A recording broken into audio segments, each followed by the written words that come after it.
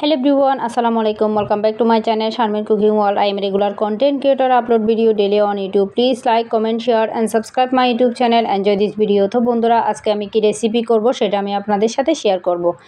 তো video title আর তাম্বেল থেকে বুঝতে পারছেন আজকে আমি কী রেসিপি দিতে যাচ্ছি। আজকে রেসিপিটা হবে সম্পূর্ণ স্পেশাল একটা রেসিপি বিশেষ করে সিম্পল একটা রেসিপি এটা বিশেষ করে ব্যাচেলার যারা ভাই বোনেরা আছে, তাদের জন্য তাদের কাজে আসবে। তো ওদের জন্যই হচ্ছে আজকে আমার এই রেসিপিটা করা। তো এটা হচ্ছে আমার একটা রিকোয়েস্টের ভিডিও তো এই তো দেখতে পাচ্ছেন, আমি উপকরণগুলো নিয়ে নিলাম। এখানে এক পিস গাজর, অল্প একটু বাঁধাকপি, কাঁচামরিচ, শুকনো মরিচ, লবণ, তেল। তো আমি চলে যাচ্ছি চুলায়। চুলায় একটা ফ্রাই প্যান বসিয়ে দিছি। এখন দিয়ে দিচ্ছি হচ্ছে পানি। সিদ্ধ হওয়ার জন্য পানি লাগবে। তো পানি দিয়ে দিছি। এখন আমি দিয়ে দিব হচ্ছে আমার উপকরণগুলো।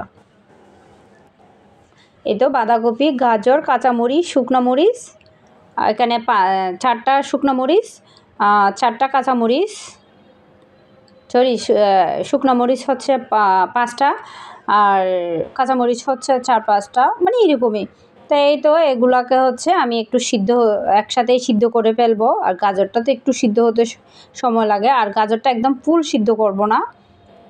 বাঁধাকপিও ফুল সিদ্ধ করব না, তো আমি একটু লবণ ছিটিয়ে দিলাম, এগুলোকে আমি একটু নাড়াচাড়া করে দিচ্ছি।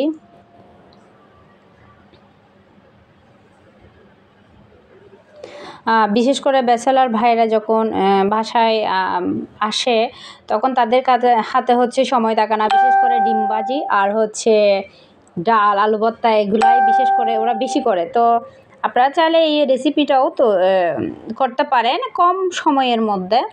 তো এই তো আমি এগুলোকে হচ্ছে তুলে নিলাম। এখন আমি স্টিলের একটা প্লেটে নিয়ে নিছি, কারণ এগুলো প্রচুর গরম। তো এগুলা, এই তো মরিচগুলা, আর শুকনো মরিচ আর কাঁচা মরিচগুলো হচ্ছে আমি ইয়া করে ফেলতেছি। আমি এগুলাকে কসলা ফেলতেছি। তো বন্ধুরা, যারা যারা আমার চ্যানেলে নতুন, যারা যারা আমার চ্যানেলটি এখনও সাবস্ক্রাইব করেন নাই প্লিজ আমার চ্যানেলটি সাবস্ক্রাইব করবেন, পাশে থাকা বেলাইকন অন করে দিবেন, এতে করে যখন আমি ভিডিও ছাড়বো, সাথে সাথে আপনাদের কাছে নোটিফিকেশান চলে যাবে। আর যারা যারা আমার চ্যানেলটি সাবস্ক্রাইব করছেন, তাদেরকে অসংখ্য অসংখ্য ধন্যবাদ। তাই তো, আমি এগুলাকে হচ্ছে কসলা ফেলতেছি। তো এই ভর্তার মধ্যে হচ্ছে কোনো পেঁয়াজ, রসুন, মশলা, কিচ্ছু নাই। আপনারা চাইলে এটা করে একবার এটা একবার করে দেখতে পারেন। বিশ্বাস করবেন, গরম গরম ভাতের সাথে হচ্ছে অনেক মজা। আমি বাসায় করছি, খাইছি, সবাই তো মহা খুশি, তো আপনারাও করবেন। এই তো গাজরটা একদম বেশি নরম না, দেখেন গাজরটা এরকমই থাকবে। তো এই তো আমি এগুলাকে মেখে নিলাম লবণ দিয়ে। লবণ একটুখানি লাগছে, পুরো বেশি লাগে নাই। তো আমি চুলায় একটা ফ্রাই প্যান বসিয়ে দিলাম এখন। তো আমি এখন চুলায়, আমার তেলটা একটু গরম হয়ে এলো, তো আমি এখন এখানে দিয়ে দিব এগুলো।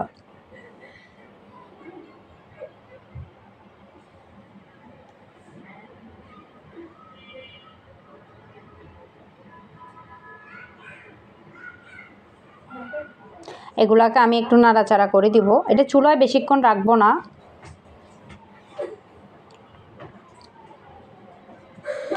আর কে কোন জেলার থেকে আমার এই ভিডিওগুলো দেখতেছেন, অবশ্যই কমেন্ট করে জানাবেন।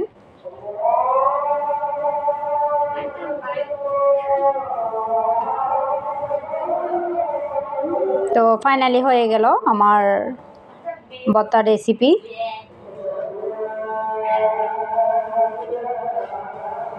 তো বন্ধুরা, আমার রেসিপিটা কেমন হলো অবশ্যই কমেন্ট করে জানাবেন। তো আজকের মতো এখানেই বিদায় নিচ্ছি।